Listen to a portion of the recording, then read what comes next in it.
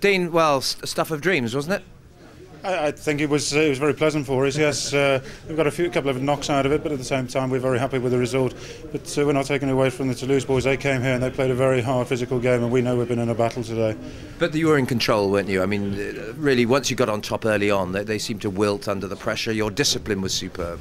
Yeah, we, we, we knew today going into the game that our discipline had to be uh, uh utmost, and, and we decided earlier on that we weren't going to retaliate for anything. We knew that we were going to take it forward, and our packs, they displayed so much courage today. Uh, it was, superb, great performance. Well, I'll come across to Bob Dwyer here because uh, yeah, I know you had a certain amount of apprehension. We all respected the Toulouse uh, side, but I, I didn't think uh, they really were ever in it, were they? Once once you had shown your control. Well, we got off to a good start, and uh, and when we got that uh, runaway try, and then we followed up with a very good try, so that was a terrific start for us, 14 0 but we were apprehensive even even when we were about 20 odd in front. I, I said to Dean, uh, remember the Dax uh, quarter final where they come back from a a big uh, a big deficit to win, and we and we really couldn't afford to let them back in because they can score tries out of nothing.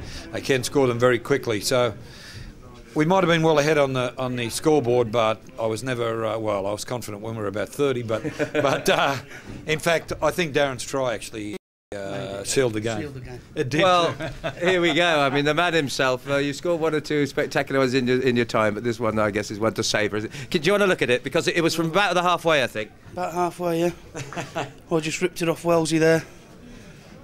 Austin was shouting for it, and I, I see their cover was just following Austin over. Turned round, bumped him out of the way. What's his name? Ntamack. They call him the gazelle. I think you look like the gazelle there. Great yardage there, mate.